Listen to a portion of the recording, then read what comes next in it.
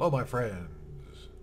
Wayne Sharer here, coming to you from my home office in Washington, D.C. I want to share with you a little bit of the agency side of things on how how big how big customers are saving lots of money on traffic and and just because I said big customers doesn't mean you can't do this. In fact, you can do this. It's how you can make yourself a big customer.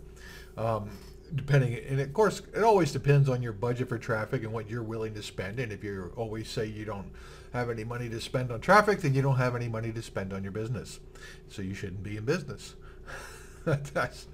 yes, I know you hate it when I say things like that, but that's the way it goes. So we're going to look at maximizing your lead results with existing traffic, okay? So this is how you can reduce cost and increase your results with existing traffic that you may be purchasing right now. So how do you do that? All right. Would you like to know that? Would you like to save money? Would you like to increase your results from by 50, 100, 200, 400, 600%? It is possible doing this, so you need to pay attention here. You need to you need to implement this as soon as you possibly can.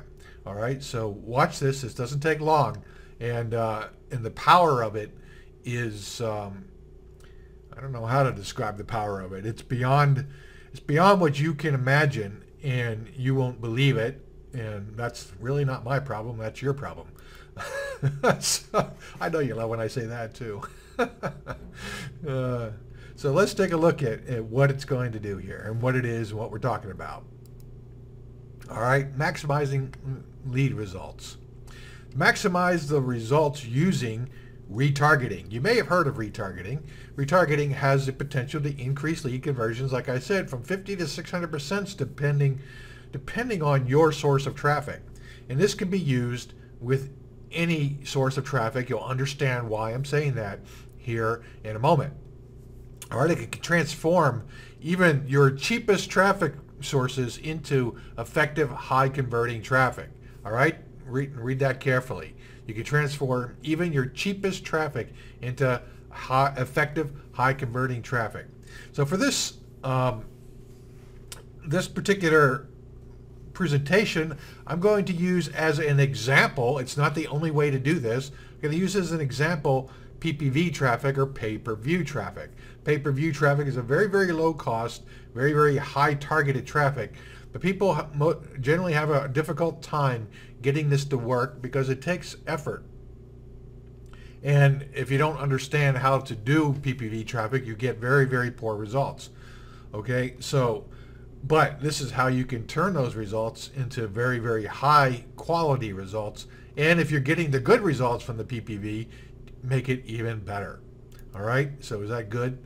Um, now, remember, this doesn't apply just for PPV. It, reply, it applies for any traffic source. Solo ads, um, pay-per-click, um, what else? Blogging, um, your, your SEO traffic. Um, it, it doesn't matter what, what the traffic, the original traffic source is, okay? I'm just using PPV as an example, all right? So don't get locked in on this, um, on the PPV. You could substitute solo ad for PPV. You could substitute Bing Bing PPC for PPV, okay? You could substitute any original traffic source for P the word PPV. So what's the secret formula? Your traffic source, whatever it may be, plus a retargeting pixel will equal higher, higher conversions. A very simple formula, okay? You, by simply putting, simply putting a pixel on your page where your original traffic lands. So look at let's we're going to look at using PPV traffic and you can use any traffic source. I say that again, including solo ads, okay? Including solo ads. And you'll understand this, so don't get uh, I don't see how you can do that. Don't be doing that with me, all right? Let's pay attention here. So maximizing lead results, how it works, okay? You have uh, this this page is the page where your traffic lands, your squeeze page or, or whatever page. Maybe it's a, a, a blog article or maybe, I, I don't know what it is. It's, it's wherever the traffic first lands, whatever that may be. In most marketers, that's a squeeze page because you're trying to capture people's names. But different types of tr traffic may land on different types of pages. It just doesn't matter. All right. Then you have your re, you add a retargeting pixel to this page. Okay, that's it. So where do you get the retargeting pixels? They come from the networks that do the retargeting. Okay, they give you a pixel, you put it on the uh, squeeze page, and what that equals is your ad starts literally following people around the internet. Okay, so it, whenever your when, whenever your particular viewer lands on a page that your retargeting agency services, well, your ad will show up again, typically in the form of a banner. Okay? So you got that? All right. So retargeting is a, ret a retargeting network gives you a pixel to put on your web page or web pages. When the viewer lands on your page, a retargeting cookie is dropped and the user IP is collected and added to your retargeting list. So your retargeting list is a list of IP addresses. Okay? So that's how they follow the person. And when that IP address shows up on, on that retargeting network's um, network pages where, uh, where they're allowed to retarget to, they will place your ad when it matches the demographics you specified. And maybe even on non-demographic matches, because at this point, if you used highly targeted traffic like solo ads or PPV ads to begin with, um, you had highly targeted people landing on that page to begin with. So even if they're on their doctor's page, um, they're still a targeted customer, and they and they may still see your ad depending on the network. Okay, so it's it's that that isn't outside the realm of what can happen.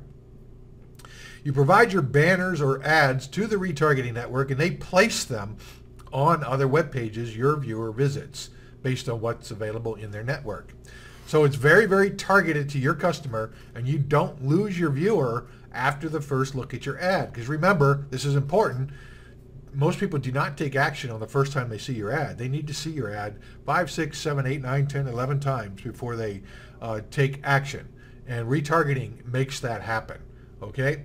You see how powerful this is now? Now, why you might get more conversions? You won't might get more conversions. You will get more conversions. Um, that's uh, that's the bottom line. So the pay-per-view example. Uh, pay-per-view is just one example. As I mentioned, I'll emphasize again.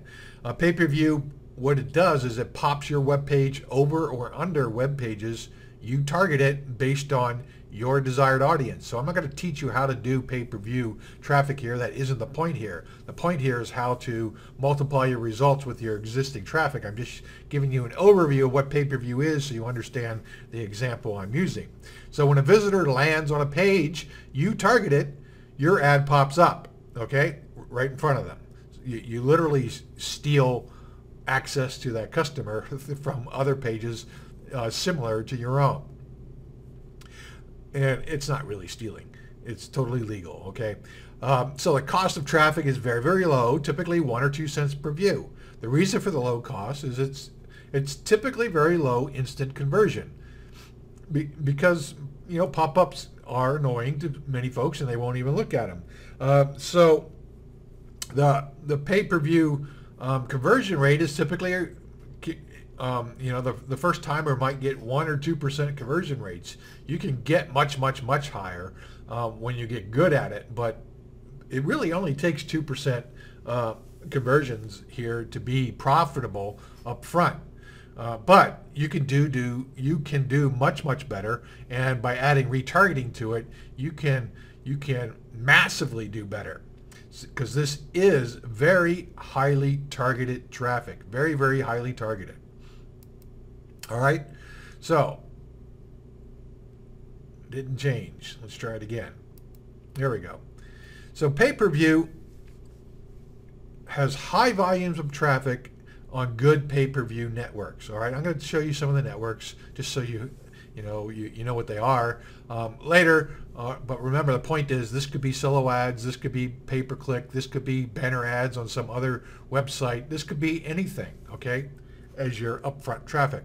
So despite the low conversion rate, the audience is highly targeted pay-per-view, pay-per-view, and this allows you to place your retargeting pixel on many, many viewers at a low, low cost and get their opt-in on a later view of your ad that is literally following them electronically around the web. Okay, pretty cool, right? So let's take a closer look at that. It's damn exciting is what it is. Let's get this thing to change. Come on, there we go. The pay-per-view example. So here, here's how it works. Remember, you can change this to be a solo ad, if you, or or pay-per-click or anything. Okay, so, but I'm using pay-per-view right here. So what happens? Well, you start right here where it says start here. And what happens? You're, you're, you have a viewer, um, person viewing the web, and they, they come to a website that you target it for your pay-per-view traffic to pop up, right?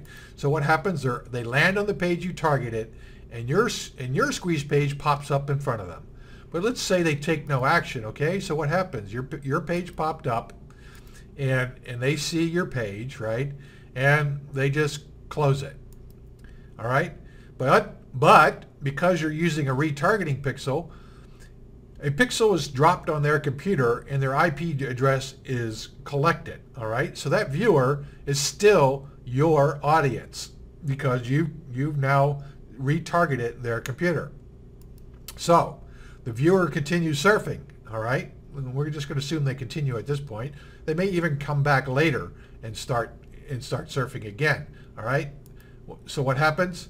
Well, they go to a bunch of different pages that your retargeting network happens to have um, access to networks that place ads on those pages.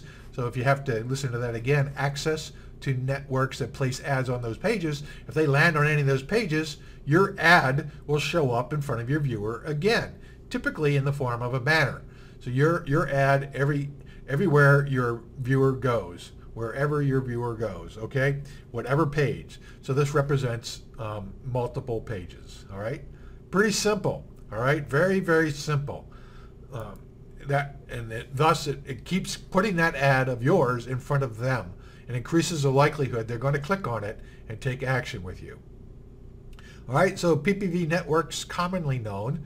Um, let's take a look at some of those on on the web here.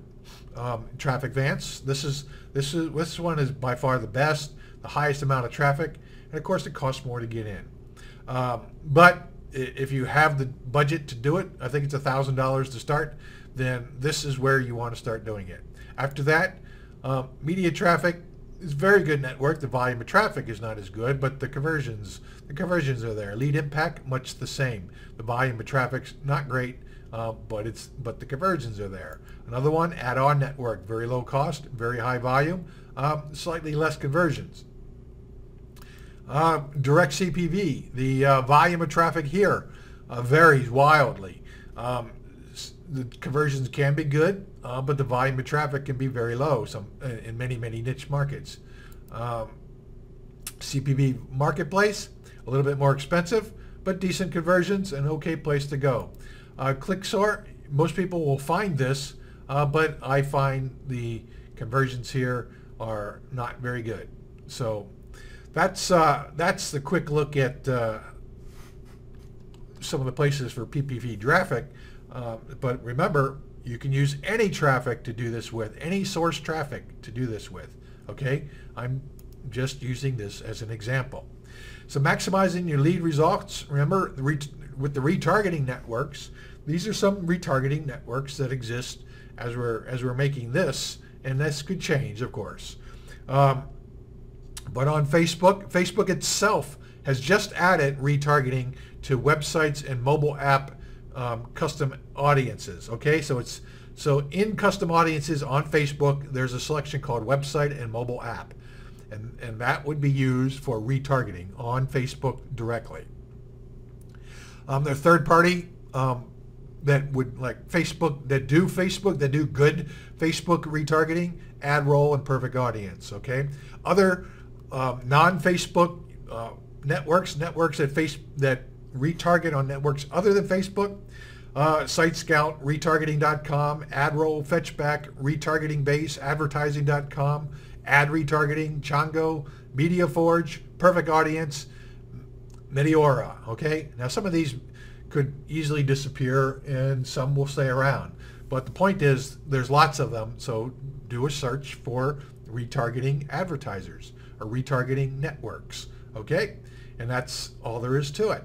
So that's retargeting. Let's give you a quick uh, six-step checklist. How do you do this? Um, pick your retargeting network. Add your retargeting pixel to your squeeze pages and or um, every page you your lead may see before they actually sign up and become a lead. Pick your PPV network. This is assuming you're using PPV. All right, you could pick your solo ad provider. You could pick your PPC network. You could pick your banner network, whatever it may be. All right, build your target URL list or keywords for PPV. You need to build a target URL or keyword list. You may need to do this. Of course, for PPC, you will need to build a keyword list. Uh, for banner ads, some some do it by um, keywords and some don't. All right, so you may need to do this step and you may not for different things. All right, for PPV, you will have to do this. So add and activate your campaign in the PPV network. Then add and activate your retargeting campaign in your retargeting network of choice. And voila, you are now on autopilot for this and it just rolls. Now, you're not totally on autopilot. You want to monitor it and analyze whatever traffic you're using and always be trying to improve your results. But the bottom line is you got it rolling and you will increase your your your lead results dramatically by implementing retargeting in your um, in your traffic and um, online marketing campaigns. All right, that's it. Thanks a lot, and I'll talk to you next time.